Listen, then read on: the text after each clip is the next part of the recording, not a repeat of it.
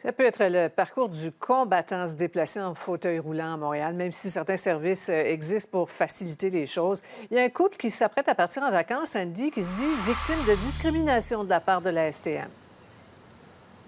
C'est ce qu'il dit, effectivement. Et d'ailleurs, pour vous en parler ce soir, Sophie, on est devant les bureaux de la Société de transport de Montréal au centre-ville. Dans un instant, on verra des images de ma rencontre avec Sarah Limoges-Godin, se déplace en fauteuil roulant, tout comme son conjoint d'ailleurs. Sophie, vous l'avez dit, partent en vacances dans, quelques heures. Les deux doivent quitter, en fait, demain matin, 7 heures de la gare d'autocar de Montréal pour un séjour d'une semaine euh, à New York.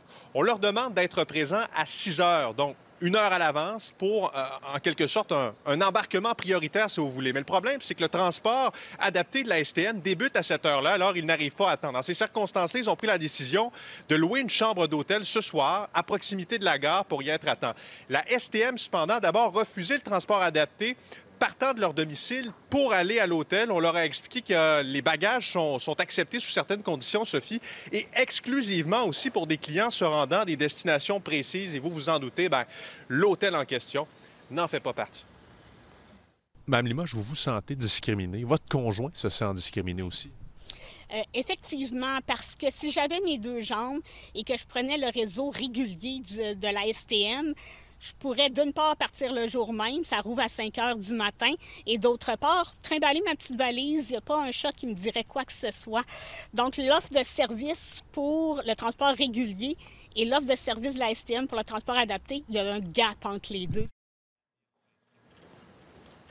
Et ça a bougé au cours de l'après-midi positivement pour Mme Limoges et son conjoint Sophie. Vous allez voir une réaction de la Société de transport de Montréal apparaître à l'écran. On dit qu'on avait accepté cet accommodement-là de transport initialement cet été. Toutefois, pour des raisons personnelles, la cliente a dû annuler son voyage. Elle l'a reporté, euh, donc le voyage qui a lieu demain.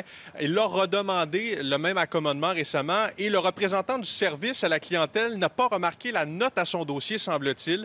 On a donc été mis au fait de la situation aujourd'hui, probablement suite à nos questions. C'est euh, ce que nous disait Mme Limoges. Donc, nous l'avons contactée et nous effectuerons le déplacement vers son hôtel. Alors, Mme Limoges, que nous avons joint par téléphone, se dit soulagée ce soir et dit que probablement euh, que si ça avait été de nos questions, ben, que le dossier n'en serait pas là en ce moment. Donc, développement positif pour elle et son conjoint. D'une formidable utilité. Merci, Andy.